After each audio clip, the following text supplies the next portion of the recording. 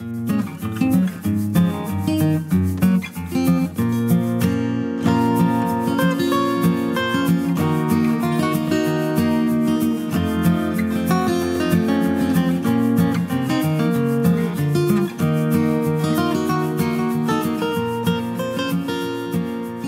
speaker today is Dr. Peter Eden. He's president of Landmark College.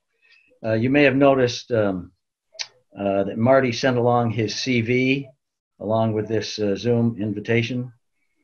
He will be talking about the challenges that smaller colleges are facing, not only in the economy that we were having, but in the, uh, in the overall new economy that we're facing. Um, you will see from his CV um, that Landmark is under very capable leadership. Dr. Eden? Thank you, Marcy. Can You all see me? Yes. Great. Um, I, I think what I what I'll do is provide a little bit of background on the college. I don't want to assume that everyone here on the on the call in the meeting knows uh, Landmark College. So I'm going to provide a little bit of a background, and and as Marcy said, I'll, I'll try to tie in the the original topic of two months ago, which is some of the the, the business model pressures of a small of, of a let's say of a college or university especially in new england with the sudden existential threat of coronavirus and a recession on the business models. Um, but i'm mostly interested in, in, in the q&a part regarding uh, how landmark is getting through this and how we aim to move forward. So the college is a comparatively young started in 1985 and started uh, as a college or an associate degree, granting college for students with learning based, uh, rather language based LD like dyslexia. And over the years, uh, um, I believe that parents and students sought out Landmark College because they believed the model would be good due to their learning challenges associated with attention deficit disorder. Um, and of course, it would because of the the small class sizes and the um, extraordinary amount of resources we have, but mostly the fact that at the college to this day, uh, it's a dedicated model. It's not a program. Students are not in a program. Every single student learns differently, and we know that. So over the decades, we had students with dyslexia and ADHD, and, and I know for a fact that we've always, like every college, we've always had students with autism whether the term is Asperger's or autism spectrum disorder or whatever, college capable students on the spectrum. Um, anything which interferes with learning, which we refer to as being neurodiverse. So these neurodivergent students, um, they have lots of strengths, but they have some challenges when it comes to learning in conventional ways. So again, the thing that makes us different is that we only enroll students that have some learning difference. That's it. And once students get to the college, they realize they never have to worry about getting the right calculus professor or if people will treat them like they were treated in high school. Because again, it's not a program, it's baked into the cake of our entire curriculum.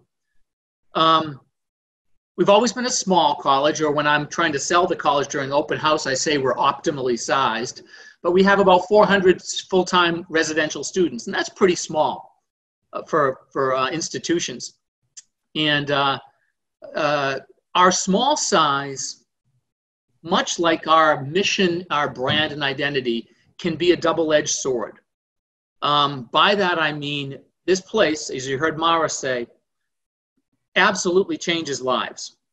We see it all the time. However, not every young person with an LD wants to go to a special ed type of college. They don't like the label. They thought they were done with special ed by the time they got out of high school. So, in terms of our brand and our identity in our sales, um, we have to be aware that while many students are really into it, now it's our first choice, others transfer there because they need more support and they didn't think they'd have to. So, I've always been very much aware of that. And we've tried to mainstream in many ways by offering now we have bachelor's degree programs of course study abroad uh, discovery research internships um, athletics we have everything you'd find at any other college just like endicott college whitley um, And of course, at, at Endicott, there's students with LD as well. I know that for a fact. Um, but we know that we're a specialty college. We know that. So we, what we have to do is we have to get parents and students to visit us. And as soon as they visit us and they see all the other cool students, and they realize this place is not built on a deficit. It's built on the understanding that people learn differently, they're wired differently, and if given the right environment, they can succeed and excel. So that's what Landmark is you know, all about. Now, as you know, a lot of colleges have closed in Vermont. A lot of small colleges have closed, um, and others are going to close. You've seen the news. You, you I'm sure you follow this. Um, there are some variables that are common when you have a college closure. Um, what happens really is, uh, and let me back up a little bit. I don't believe that any college, university was built around the notion of efficiencies. I don't think that institutions are built or were built to be efficient.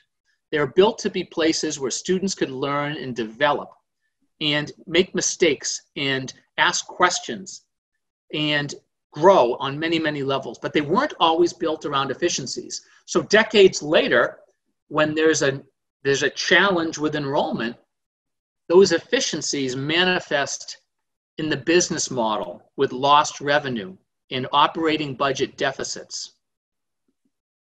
So when your college faces an operating budget deficit, you say to yourself, oh my gosh, we need more students. How can we attract more students? Well, one of the easiest ways to attract more students is to give them more scholarship. And they don't really give any scholarship. Like buying a car, they reduce the price that they charge the person. It's called a discount rate. So, in order to deal with the fact that there may be a financial problem, by getting more students, they often have to give out more scholarship, which is a great thing, a really great thing. But what that means is every student they bring in, these colleges actually net less revenue. Now, they're not the only college doing this that is offering more scholarship and discount to students because all the other colleges in the New England are doing the same thing. So the next year they raise their scholarship more. And then one day they wake up with a 70% discount rate where they don't realize 70% of the tuition and fees that they need to run the institution. Then you get to a point where you realize if I'm only netting 30% of the revenue, there's only one way to get to actually make enough money to run the college. That's by getting more students, and then they cannot get any more students. This is exacerbated by the fact of during the Great Recession of 2008, many families stopped their plans to have a kid, to have a baby, because of concerns about employment. That has meant a demographic we already see, which is a decrease in the number of high school graduates, especially in the Northeast, is only going to get worse in the next five years, which will be about 18 years out from 2008, when a lot of people stopped having babies. So there's this nadir coming. So all of these things affect the business model of a college. And what happens is the accrediting body takes a look at their reality that they can't balance their budget and they look at another thing called the endowment. Of course, the endowment is the money in the bank, which is supposed to keep the college going in perpetuity. A lot of the colleges that closed have very small endowments, like maybe $3 million. If a college starts to run deficits in the of a couple of million dollars a year and they only have a $3 million endowment, the accrediting body will say, wait a minute, you want to accept all of these students as first year students with a promise of delivering a bachelor's degree to them in four or five years? If you continue to run a deficit, you will have no more money and you will not be able to deliver that degree. And the accrediting body then gets involved with the accreditation. And once the accreditation is imperiled, it's almost impossible to retain and recruit students. This is some of the stuff that's happened to some of the other great colleges in the state. Wonderful places. They too change lives. But the enrollment challenge in the competition to enroll students by giving out more and more scholarship when you don't really have that money to give, resulting in a high discount rate, and then a poke in the eye by the accrediting body. That's why a lot of colleges are going out or have gone out of business. Landmark College has a small endowment. It's about $24 million. Small by Middlebury standards, or any other one in the hundreds of millions or a billion. But $24 million is not $3 million, obviously. And we intentionally keep our discount rate around 30 percent. Now, we are not to be applauded for that because what that means is we are unable to give out enough money for a lot of needy families to afford us, which hurts us. Although at least 75% of our families, almost 80%, get aid from us so we can help them. But we've resisted the urge to raise our discount rate in order to grab those last 10 students. We've also resisted the urge which has happened at other places, I hope not at Endicott Whitley, which is to decrease your selectivity and start accepting students who are really not a good fit. Now, we could turn the spigot on and bring in, we're, Landmark is a lot more selective than you might think. We only accept about 60, 50, 60% of the applicants. We could turn the spigot on and bring in another 10 students, but we won't do it if they're not right for the school. So we've done this, which sounds virtuous and meritorious, but what it's resulted for us the last five years, with the exception of this year, as of a few months ago, is we've had enrollment challenges too. So we've weathered them. We've weathered them and we've invested in outward facing programs so we can serve students elsewhere. Students who, for whatever reason, will not come to an expensive nonprofit we don't make any money off of this. Expensive, rural, small college in Vermont. They want to stay home in California. We've developed seven years ago online programming for students with LD, learning differences. We have college courses we provide to high school students across the nation to earn college credit. It's called dual enrollment, and it's related to what Ron was saying about face to face dual enrollment. But we have a burgeoning online program only for neurodivergent students. We engineer the courses differently. We have a, a professor who knows about learning differences. We have an advisor who also helps them online. And the courses are built around the, the reality that students have executive function organizational challenges and learning differences. Now, is that generating enough revenue to save us during this tough time, you know, the last few years? No, but it's ready to go big. It's ready to go big and start to enroll many, many more students, and ideally students with LD in high school who may thought they'll never go to college because they, they have an LD. So we're going to be able to change thousands of lives, and hopefully that generates enough revenue for the college, Landmark College, through good times and bad times to stay just the way it is. Now, then coronavirus comes. So the gradual, I won't say the gradual challenges and pressures to the buzz business models of all of these small colleges has suddenly been extremely accelerated. Almost every college I know has sent students home for the spring semester because it's unsafe to have them on a college campus and you know the old saying, a dormitory, not an old saying, you know the new saying, the dormitory is like a cruise ship. You know, they're, they can be pretty risky places for infectious disease with, one, with, a, with an organism like this one. Um, That means almost every college is refunding what the families paid in room and board. For Landmark, that's about a million dollars that needs to be refunded. Sure, we can apply some of it to next year for students coming back, but it still affects our fiscal year and our in our numbers for this year in terms of revenue. For some other bigger colleges, it's in the millions of dollars that they hadn't budgeted for. So they suddenly have to pay back room and board. And it's the right thing to do. Students are not there living in the dorm rooms. They're not eating with their meal plan. They should get their money back. But this is going to, I think, cripple a lot of schools. Um, at Landmark, we at Landmark, we're small. We are replete with resources, meaning we have about 200 faculty and staff for 400 students.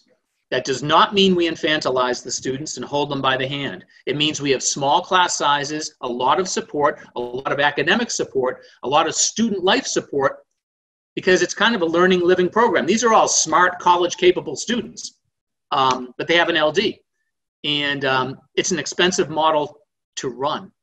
Um, but because of the model, because of the fact that we have so many resources, and it's a tightly run program, we stand a much better chance than most to be able to manage student safety, whether it's the flu every year, which is serious, or any other risk.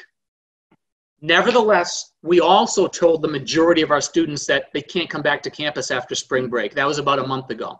We did allow, like almost every other college, uh, a handful of students, for us 26 students that have true hardship, to stay on campus. Um, and the rest of the students are at home learning online. And uh, Whitley, maybe during our Q&A, you can tell me how it's going with the Endicott online program. Now, um, learning online even though the Landmark College has this really important growing online program reaching out, especially for younger students looking for college credit, that's not what our parents are paying for. They're paying for Landmark College residential program so that the students can get stronger in every dimension. So I know that. Um, it's, chal- it's very challenging. The students want to come back, and we want to have the students back. We've had no COVID 19 cases. Um, I believe firmly that we could bring back some students for summer programs very carefully. And I believe that if we can build in online and hybrid, that is online face to face, in smaller groups and ways to manage students to de risk it for us. And I believe we need to do that in the summer to show the faculty and staff that students are not radioactive. They are not vectors of infectious disease. They're humans like everybody else. And if they practice good, you know, I won't say social distancing because that's the wrong term, physical distancing. Socially, they still need to connect somehow, but physical distancing. Then we can bring some back this summer on a very small basis, we hope. And hopefully that leads us to the fall where we can have students come back and we can manage them we may need to have them self isolate the first two weeks back on campus. It depends on what the regulations are. As you know, we're trying to plan for summer and fall when I like to say this saying, it's like, it's like knowing half a telephone number. It doesn't do you any good. We don't know what the guidelines will be next month, let alone September. So we have to plan for multiple scenarios. But there's one thing the students want to come back to campus. They need to come back to campus, but we must ensure safety. So we're looking at lots of ways to deliver our program in ensuring safety. And that's taking all of our time right now. We're also planning for a pretty big decrease in enrollment in the fall, not because we can't bring them back, won't bring them back. But even if it is safe, because Vermont's comparatively safe, we may have families just saying, I don't want to take the risk with my kid living in the dormitory. It, it could be that. So we have to prepare for a very, very difficult year coming up in terms of our business model. But as I said, we don't have a $3 million endowment. We have a tiny endowment, but it is 24 million, and we could absorb a year or two So that's really what Landmark College is. Some of the pressures leading to college closures, and now this acute existential problem, which is coronavirus, and I think equally bad, a possible recession where parents cannot afford a private school like Landmark. And you're going to see other colleges go out of business. Landmark's aim is to not go out of business, but we might need to change a little. And I'll stop there. Thank you, Peter. We do have uh, a few minutes. If people have questions, um, you might try typing them in the chat box or waving and we'll try to find you.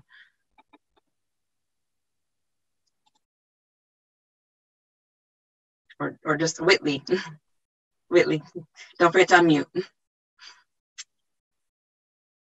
Okay, I'm unmuted. Um, so I was just gonna ask, you talked about your internship program, um, like just briefly, but we have, as you know, an internship program at Endicott.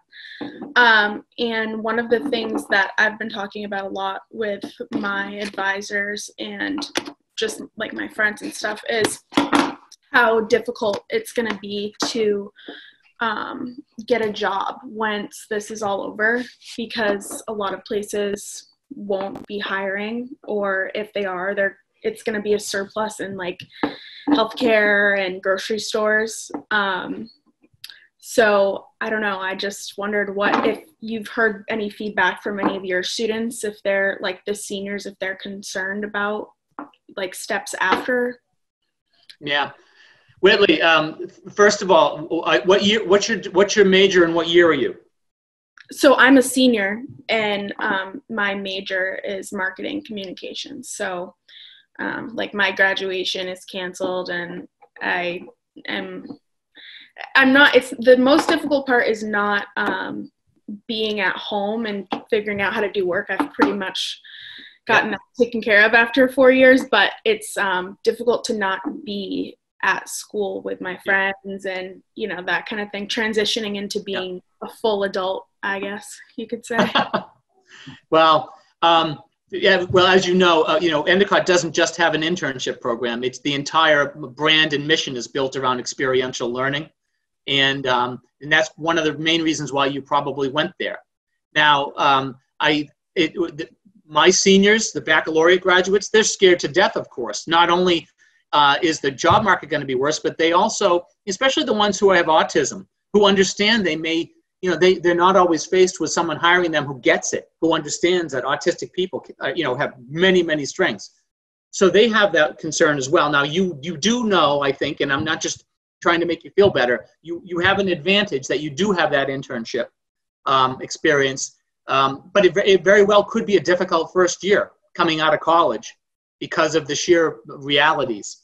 Um, so um, you know this is one of the reasons why i mentioned the great recession of 2008 um, a lot of people realize I'm not going to get a job where I want to, paying what I want, so I'm going to go to graduate school.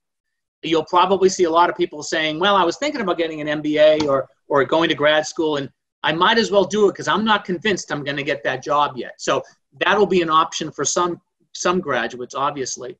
Um, uh, it's uh, there's no solution for this, Whitley this is a huge, as you know, multifactorial problem with our economy and our society right now. Um, things do turn around after a while, and there's always a job for someone who wants to work hard. You do have an advantage with your internships, and don't be afraid to, um, you know, try to find a job somewhere, anywhere, because as people look back, and, you try to get a job that's related to your field, even if you have to work elsewhere for a couple years, everybody's going to know what these years were about. When, when people look back at college transcripts or employment, they're going to know that, oh, that was the year after coronavirus and things were just crazy. So my students are just like you, Whitley. They're like, good grief, it was tough enough already, then this has to happen. Hang in there. Thank you. Thank you. Thank you, Peter. I think we have time for one more question. I, I Mara had a question. Um, hi, Peter. Um, so there are a couple of us in the Rotary Club who also happen to be on the Marlboro College Board. So this question is coming from an area of deep concern. Uh, the statistic that really opened my eyes about what's facing New England residential colleges versus other colleges, and there are many, many, many factors, is the fact that the average first generation college student doesn't travel any more than 50 miles away to a residential college. Um, and those are just the kids who are going to a residential college, not the ones who are, are going to be um, commuters. And that the average college student in America only travels 100 miles, and we live in an area of declining demographics all over New England.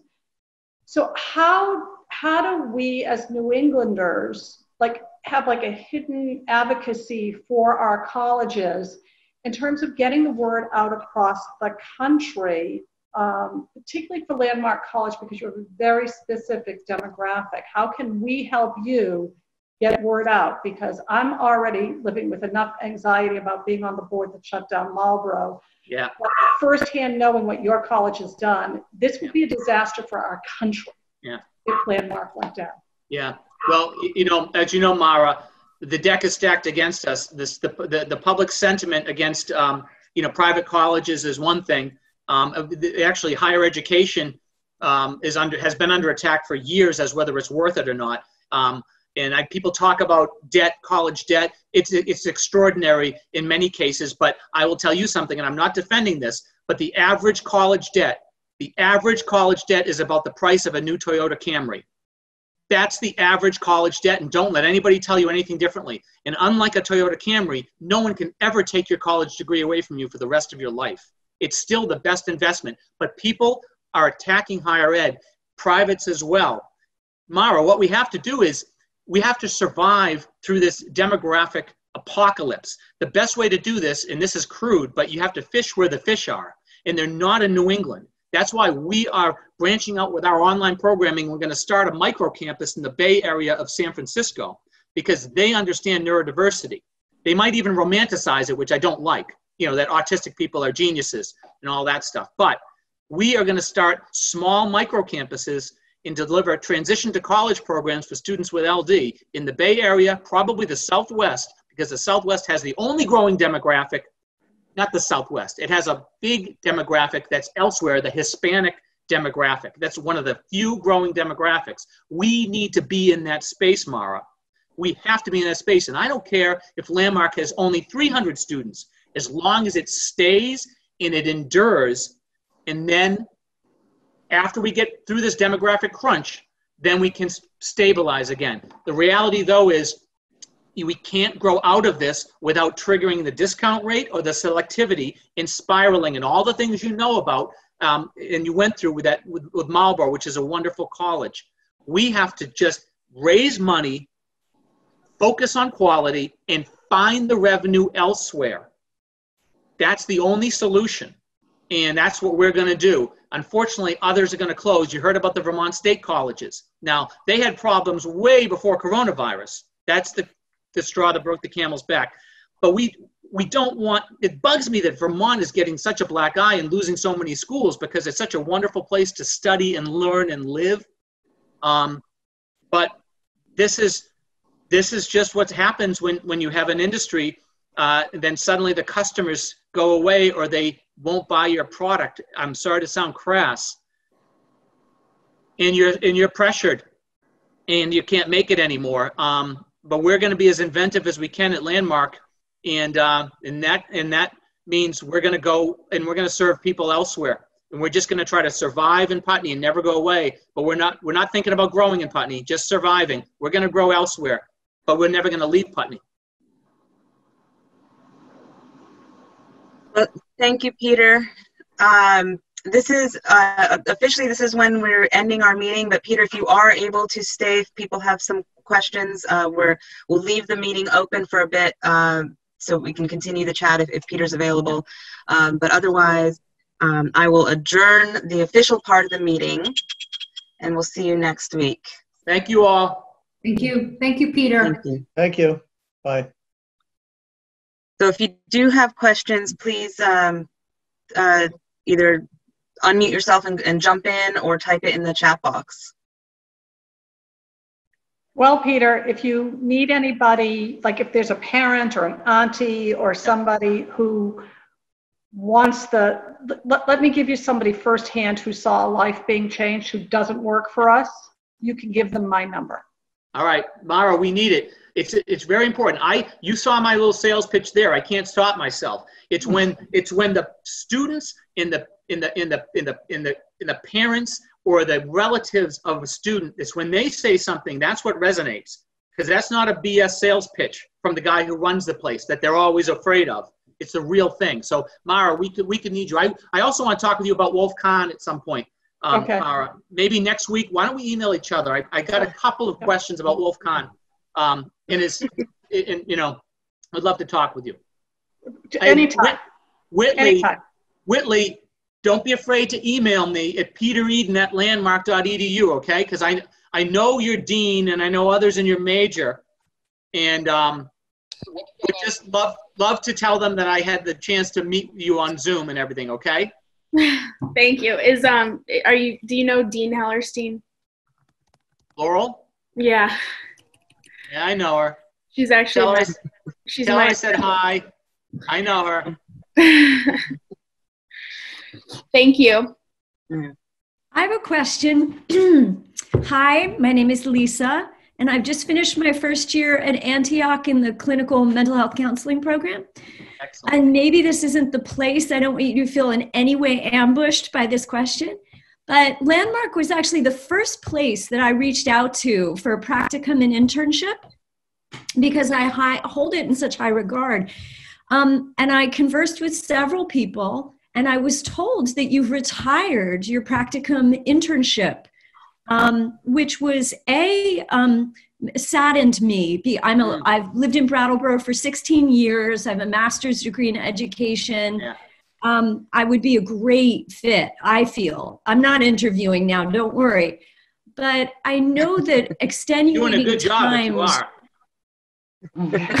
okay.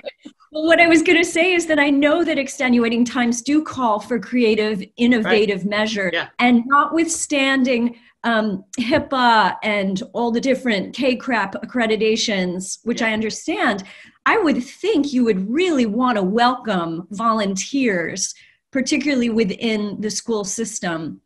So Yeah, yeah. So I, I don't. Do you know when the practicum was was abandoned? Generally, roughly. I wasn't given that information, and just so you know, it was also abandoned at the Putney School, and it seems like there's a trend. But just as a Ah. doctor has to go through a residency procedure, you don't want to feel like you're encroaching upon people's time, but this is how it goes. We have Well- to go through the practicum internship Yeah. process. Yeah. Well, we're like any b- business or, or college where you know we we wish we were in a less rural area because we could really use postdocs and interns and all that stuff. Um, and I, but I don't want to speculate. I don't want to say it happened before my time, although I think it happened before my time. And I don't want to talk about the dynamics of the of the office. The best thing to do to get an accurate, intelligent response is for you to send me a message. Okay. It, you can send me a message. Uh, you know, you could look me up, call me at you know 387-6725 or Peter Eden at landmark.edu. If you communicate with me, I can then ask the right people without revealing this, the source of the question. And it could be that this was a phenomenon that was driven by whatever factors. And these days, with a new lens, we might have a need. So why don't you just why don't we just communicate? And if it's not possible, at least I can tell you why. Right now, I don't know. Thank you so much. I really appreciate that. Thank you so much. Right? Hi, Peter. Uh, I Meg. Hi, how are you? I just wanted to um, echo what Mara said. I'm happy to offer any um, testimonial. I um, hired a landmark graduate, William, and he's extraordinary. And not only is he wonderful, but the support we've gotten from Landmark is really highly unusual and just incredible. And it's made it so that we, our staff, can be educated because he has some differences and you know we're totally open to that and he has Okay. become a cherished member of our team he's just he's absolutely Yeah. delightful and i don't think it could have happened if we hadn't had the support from landmark um, that was was just you know unusual and continual and any question we had boom it was answered so Wow. i'm more than happy to to to trump your praises Wow. Uh, Meg, I, I, it must be difficult to be the sibling of a super of a superstar like Andy, and you know, overshadowed by a, superstar sibling. I can I can relate to that. Uh, Andy he'll is, is absolutely fantastic. But listen, uh, the, most of the credit goes to you, Meg, and I'm not just throwing roses at you. You know, places and people that understand neurodiversity, it's not a deficit, but it's also doesn't mean you're an automatic genius. You know, there are challenges. And for you to hire William, is you know William now, you see his affect, and you Yes. know that most people are going to say, "Oh, what's this?" He's got autism, but he's funny as hell. He's smart. He, I'll bet you he's reliable. And yes. um, spot on yeah, ki- these people just need a chance in the world. Our drive-through uh, approach to the world, people don't give others a minute to before they judge them. Um, but you are fantastic, Meg, and I'm glad your company is so successful. I, I, we need to do more together. You know, you know, as the to. college. yeah Done. and we're Let's do it. Let's and, talk. and that would be great Let's talk. Peter, I'd like to jump in here. Um, Back when I was uh, practicing and uh, Landmark College students would come in, I would always take extra time and bring them back to the office and just ask them, you know, I'd say, tell me about what Landmark is doing for you and, and what makes the difference. And each and every one just felt like they'd been found. It was just incredible. Yeah. Well, I I really appreciate that. You know, if the, the, the bizarre thing about Landmark is we're simultaneously unique and just like every other place. You know, we, we're a college. And so the students do college stuff, meaning they're not always well behaved. Think about college, everybody. And, you know, um, yet on top of that, they have less confidence, maybe because of their LD and the challenges they've had. And sometimes they look for the cracks to fall into. But when they come to this place, they realize, whoa, wait a minute. The- these other kids are all cool. i you know, I'm, this isn't the special ed resource room. This is just a college that's way ahead of its time. The problem for me is it's $70,000 a year. Very few people pay that, but it's 70,000 for me to run the place. Um, and it has a special ed brand. And a lot of young people want to get away from that. That's the challenge. Your greatest strength is your greatest weakness. And over time, neurodiversity, the notion of being non neurotypical, I think will have less of a stigma. And much like Catholic universities, people in the future will look, I'm going to send my kid to a neurodiversity based college. I just, I just, that's where we send our kids. That will happen over time. It might take 10 years, but when that happens, we need to be the best. When people start naturally looking for that type of college. So that's that's our sense is that it's going to come around. But Marcy, appreciate it so much. Any other questions before I get off and struggle with my children trying to learn online today? Peter, I have one question. Are you looking at an international um, population as well? Can you do distance learning internationally, and would that be a benefit? Uh, well, the big challenge, Meg, the reason why we haven't been, uh, we have international students already, but the reason why we don't, it's funny, I'm smiling because a lot of colleges are going to go under now because they relied on those 20% of international students who now can't travel here. That's how Windham College went under. You know, our campus, Right. they went under in 75 because of just that. But that's not why we haven't gone there. We've got we haven't gone there because we haven't had the money. We haven't conquered the domestic market. And if there's a language barrier on top of a learning difficulty, we're in trouble. And a lot of cultures will never admit to a, a learning disability for for cultural reasons.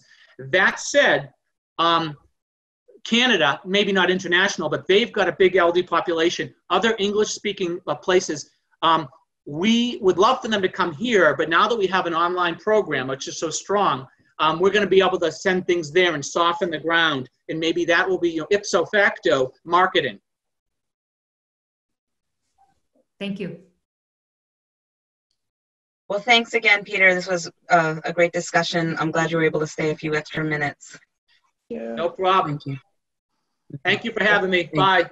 Have a good Thank day. you, Peter. See ya. Bye. Bye. Bye, everyone. Bye-bye.